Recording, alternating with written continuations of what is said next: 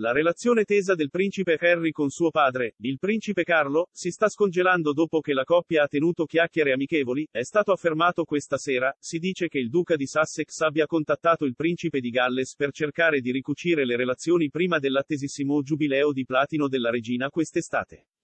Una fonte ha detto al San Domenica. C'è stato un netto disgelo nei rapporti tra Harry e Charles, sono in rapporti molto migliori e hanno avuto chat amichevoli e videochiamate.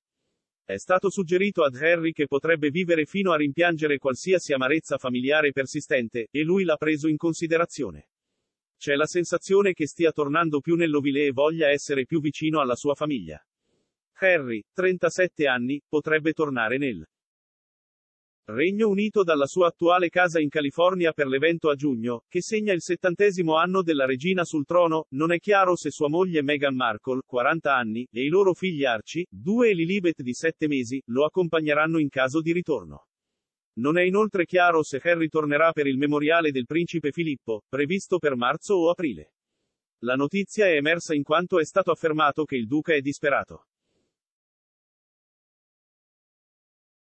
Di tornare nel Regno Unito. L'ex ufficiale della protezione reale Ken Worfe, che da bambini faceva la guardia alla defunta Diana, principessa di Galles e ai principi William e Harry, ha detto a Palace Confidential su Mail Plus che il duca di Sussex farà un vero sforzo per tornare qui. Il redattore del diario del Daily Mail Richard Eden ha proseguito suggerendo che Harry è ancora desideroso che sua figlia di sette mesi Lilibet riceva un battesimo reale.